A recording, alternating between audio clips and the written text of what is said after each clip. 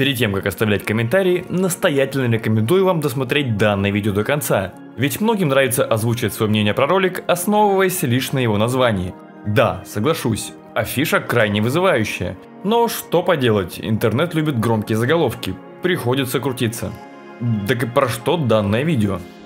Вильфредо Леон и его Перуджа в очередной раз проиграли в финале итальянской суперлиги, и это стало для них третьим подряд поражением в финале за последние 4 года. А с учетом, что сезон 19-20 не был завершен из-за пандемии коронавируса, то больше финалов Леон и Перуджа проиграть попросту не могли. Перед приходом звездного доигровщика дьяволы выиграли Скудетто и стали третьими в Лиге Чемпионов, где в полуфинале их уничтожил Зенит Казань, как раз во главе с Вильфредо Леоном. Так что Перуджа определенно рассчитывала на то, что кубинец поможет им не только начать доминировать на внутренней арене, но и также завоевать долгожданный кубок Лиги Чемпионов – но все, что Вильфредо принес своей новой команде за 4 сезона, так это два кубка и два суперкубка Италии. О гегемонии мечтала и сборная Польши, за которую с 2019 года Леон получил возможность выступать. Что примечательно, поляки выиграли чемпионат мира в 2014 году, ровно перед тем, как Леон начал оформлять свое новое гражданство. А также сборная Польши выиграла чемпионат мира в 2018 году, ровно перед тем, как доигровщик отбыл дисквалификацию и получил возможность выступать за новую сборную. Но после прихода Вильфреда поляки довольствовались лишь серебряными медалями Лиги наций и Кубка мира. Также было две бронзы чемпионата Европы, где сборная Польши в полуфинале два раза подряд уступила сборной Словении – ну а на Олимпиаде, на которую были все ставки, поляки в четвертьфинале уступают будущим чемпионам французам и уезжают из Токио вовсе без медалей. После этого среди волейбольных болельщиков за Леоном начало закрепляться звание главного неудачника в современном мужском волейболе. Ведь один из лучших, а может и лучший игрок мира, приходил и в без того сильные команды, но существенных побед с ним они одержать оказались не в состоянии. Согласен ли с данным утверждением я? Вряд ли. И сейчас я попытаюсь объяснить почему. Ответ предлагаю искать в психологии. Есть такое понятие, как социальная лень. Тенденция людей прилагать меньше усилий в том случае, когда они объединяют свои усилия ради общей цели, нежели в случае индивидуальной ответственности. Как этот термин применим к волейболу и к Вильфреду Леону в частности? Если в команде появляется лучший игрок мира, то другие члены команды могут подумать, что теперь этот парень все сделает за них, а их собственное влияние на игру уже не так и важно. Поэтому такие игроки начинают проявлять меньше стараний, что негативно сказывается на итоговых результатах команды.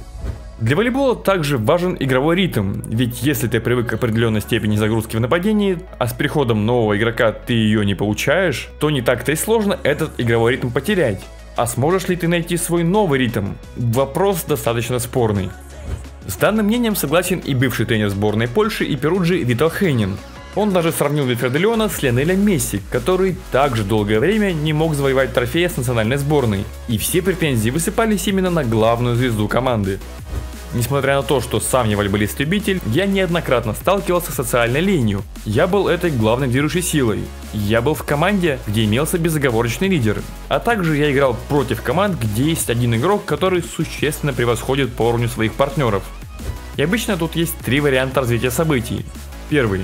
Этот игрок намного сильнее всех участников, и это позволяет его команде побеждать в турнирах, что обычно прокатывает только на низком любительском уровне. Второй, лидер не справляется с возложенными на него обязанностями в полной мере, и его партнеры начинают играть уже более ответственно. Результаты улучшаются, но до итоговой победы может не дойти, потому что нет того человека, который повел бы за собой, а также взял бы на себя ответственность в решающие моменты. И третий, когда все держится на одном человеке, но в решающие моменты ему не хватает поддержки. И несмотря на внушительную статистику лидера, его команда раз за разом проваливается в решающих матчах. Но есть у социальной лени обратное понятие – социальная фасилитация. Это эффект, при котором человек более успешно выполняет поставленные задачи в присутствии других людей, чем в одиночку. То есть, если команда или отдельный волейболист видит, что против них играет заведомо более сильный игрок, то команда или отдельный волейболист начинает прилагать больше усилий, чтобы попытаться этого игрока превзойти. Самый яркий пример для нашей сегодняшней темы это первый матч Вильфреда Леона против Зенит Казань, где казанцы очень хотели доказать, что они способны добиваться значимых побед и без Вильфреда. Особенно был мотивирован Эрвин Гапет, который планировал Леона полноценно заменить. Тогда француз выдал потрясающий матч, что и позволило Зениту добиться гостевой победы над Перуджей, а затем и выйти в финал. Так а почему тогда Леон преуспевал в казанском «Зените»? Неужели все эти психологические факторы там не работали?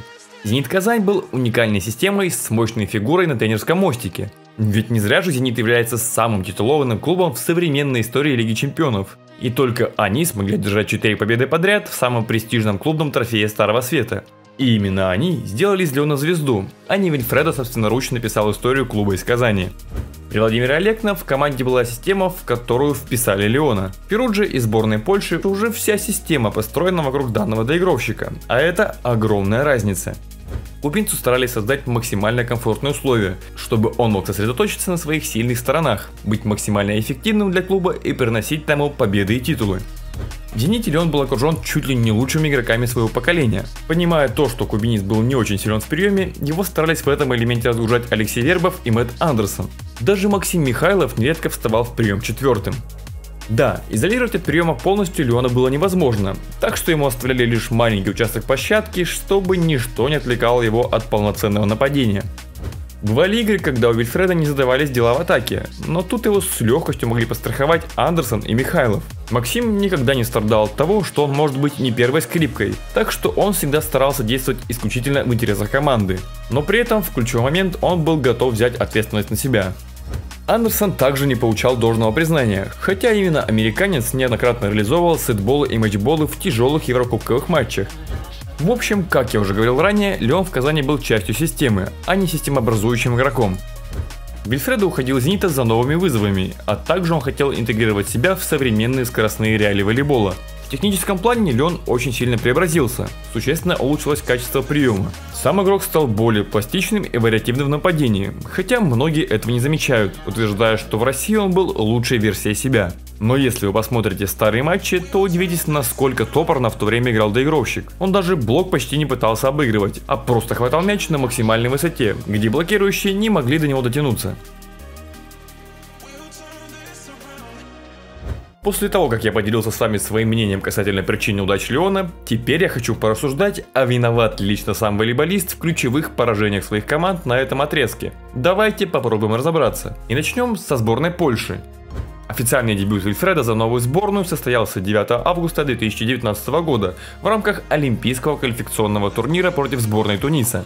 Поляки с легкостью отобрались на Олимпиаду, в сухую обыграв Тунис и Францию. Лишь сборная Словении смогла навязать хоть какое-то сопротивление подопечным Витала Хейнина. Дальше нас ждал чемпионат Европы, а я напомню, что сборная Польши до этого лишь раз побеждала в этом турнире. Датирован этот успех 2009 годом. А также в их копилке было 5 серебряных медалей, причем все они были завоеваны подряд. Лишь сборная СССР была в то время сильнее в Европе, чем сборная Польши. Советской команде покорились 9 чемпионатов Европы подряд, но сейчас не об этом. Поляки в 2019 году катком прошлись по своей группе, одержав 5 побед с соотношением сетов 15-1. Да, группа была не самая сильная, но мощи польской дружины это не отменяет. В плей уже были уничтожены сборная Испании и сборная Германии.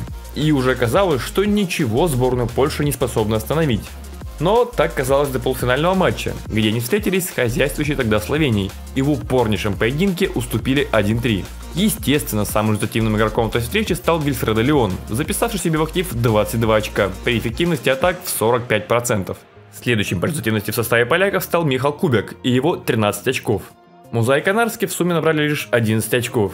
Бартош Курок из-за травмы Евро пропускал, так что с диагональным в команде были очевидные проблемы. Если брать продуктивность доигровщиков в концовках этого матча, то впечатления были неоднозначные. Концовку первого сета Леон провалил, где именно он и проиграл решающее очко.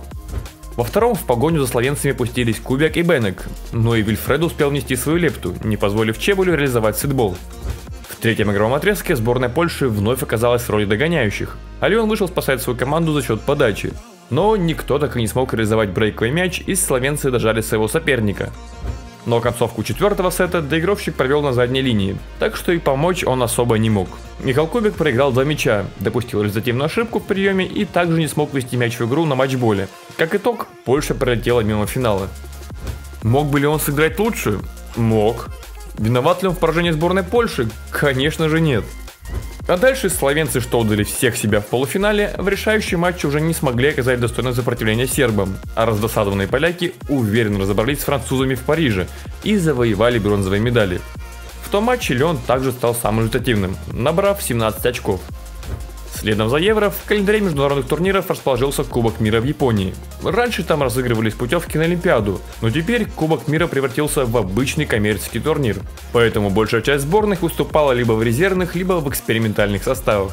Так что было очевидно, что именно Бразилия, Польша и США займут места на пьедестале почета, ведь они играли в сочетаниях близких к оптимальным. А сборная Бразилии, не изменяя своим традициям, играла в сильнейшем составе, поэтому и праздновала победу в турнире.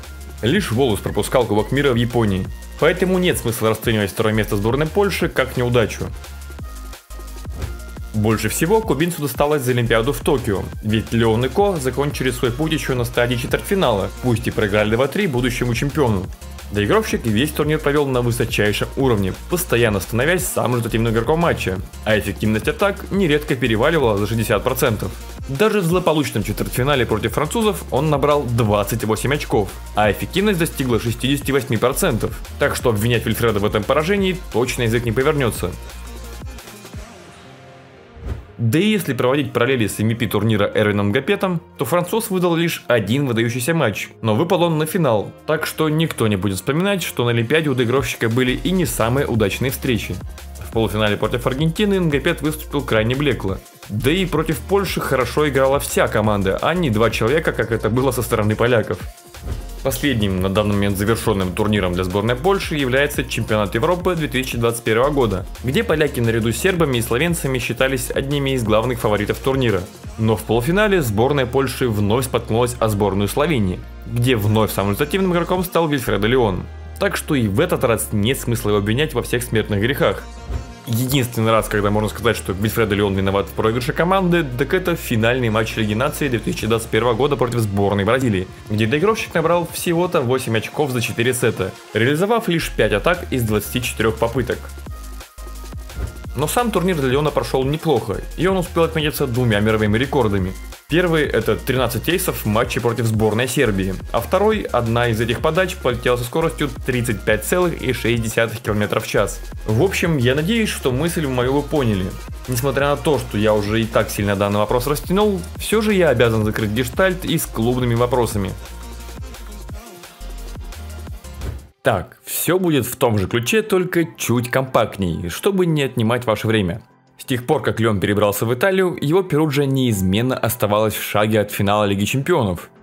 В 2019 году итальянцы уступают «Зенит Казань» 2-3 дома и 1-3 в гостях. Сам доигровщик набирает 25 и 15 очков соответственно. В следующем году лишь одна команда успела пройти в полуфинал. Это был Кузбасс, который победил Заксу. Ведь тот сезон так и не завершили из-за пандемии коронавируса. Но Перуджа в первом матче на выезде обыграла Факел, так что с большой долей вероятности должна была оказаться в полуфинале. Год 2021.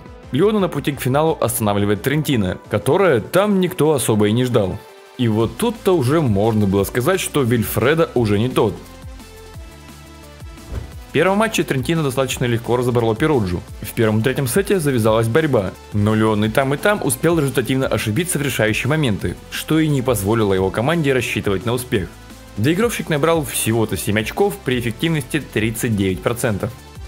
Во втором матче все было куда радужней. Дьяволы забрали себе первые два сета и отдали третий. Но нужно лишь было забирать себе четвертый игровой отрезок, и тогда все решалось в золотом сете. Но после счета 7-7 Леон забивает лишь 2 мяча из 7 попыток. При этом 3 очка в атаке он проиграл. А к этому добавились еще и ошибки Музая и Ричи, так что Трентина уверенно забрала себе сет и путевку в финал. И пусть Фильфердо набрал 21 очко, а Перуджа в пятом сете победила, проход в финал им это все равно не обеспечило. Ну, наконец, год 2022, где вновь в полуфинале сошлись два итальянских гранда. И несмотря на то, что в этот раз дело дошло до золотого сета, ведь оба матча закончились со счетом 3-2, Перуджи это в финал пробиться снова не помогло. И даже несмотря на то, что Леон вновь стал самым результативным игроком в своей команде, качество его нападения оставляло желать лучшего. Причиной тому была травма колена, но про это мы поговорим чуть позже. Потому что сейчас мы будем говорить про итальянскую суперлигу. Как я уже говорил ранее, Леон после своего прихода в итальянский чемпионат всегда оказывался в финале, кроме коронавирусного сезона, ведь то первенство отменили. Ну и как вы уже догадались, все эти годы Перуджа проигрывала в решающей серии Лубы Чевитанове. первом своем сезоне Дьяволы проиграли лишь в пятом матче. Всю серию Леон был невероятно эффективен. Лишь в решающей встрече у Леона в атаке, как и у всей команды, не сильно шло. Об этом ярко свидетельствует 18 результативных блоков за 5 партий от Лубы. Но зато в этом матче он выполнил 7 эйсов и все равно стал самым результативным игроком встречи. Следующий финал такой борьбой уже похвастаться не мог. У Перуджи весь сезон были проблемы с диагональными, а доигровщики играли без отдыха, как и связующие. Так что Чевитанова в четырех матчах достаточно уверенно разобралась с Леоном и его командой. Лишь в одной игре Вильфредо смог показать что-то выдающееся. Он набрал 38 очков, и именно в том матче Перуджи победила. А вот в двух из трех игр как раз Леона и не хватило нападению дьяволов для победы в том финале. И вот уже в сезоне 21-22 после прихода в команду Джанелли, Андерсона и Рихлицкого казалось, что теперь-то Перуджа возьмет свое. Ведь Луба и Трентино сильно обновились, и лишь Моден оказалась реальным конкурентом. Но в финале, как все мы знаем, Перуджа вновь сошла с Чевитановой и снова уступила. В этот раз дело мешалось то самое травмированное колено Леона, с которым он мучился весь остаток сезона, ведь кубинец с польским гражданством не был похож сам на себя. Вообще, с каждым годом в игре Леона прослеживалась одна и та же тенденция. Доигровщик очень мощно начинал, что клубные сезоны, что какие-то международные турниры, но к решающим матчам он каждый раз подходил не в лучшей своей физической форме. И если в юные годы он мог себе позволить играть в одном режиме, то чем старше он становился, тем тяжелее ему приходилось в конце. И вот сейчас, когда Леон прооперировал колено и с большой долей вероятности пропустит домашний чемпионат мира, у сборной Польши есть неплохой шанс доказать, что они способны побеждать и без Вильфреда. И если поляки выиграют третий подряд титул чемпиона мира без Леона, то это может оставить серьезный след на наследии данного игрока. В следующем году доигровщику будет уже 30 лет, так что свой пик физических кондиций он уже с большой долей вероятности прошел. И как вы думаете, способен ли он вновь стать тем ультимативным игроком, каким он казался в Зените? Или же он будет вынужден покинуть гонку за звание лучшего игрока мира? И сможет ли он выиграть еще хоть какой-то значимый трофей в своей клубной карьере? Или Кубки Лиги Чемпионов, выигранные в Зените, были последними для этого волейболиста? Обязательно делитесь вашим мнением в комментариях. Мне очень важно, что думаете про это вы. Если вам понравилось данное видео, то ваш лайк под ним является обязательным условием. Также я очень надеюсь на вашу подписку, ведь невероятно хочется когда-то добраться и до отметки в 100 тысяч подписчиков. А без вашей помощи я ни в коем случае не справлюсь. Ну а с вами, как обычно, был Николай Иванов. Любите то, что вы делаете, и все у вас обязательно получится. Скоро увидимся. Пока.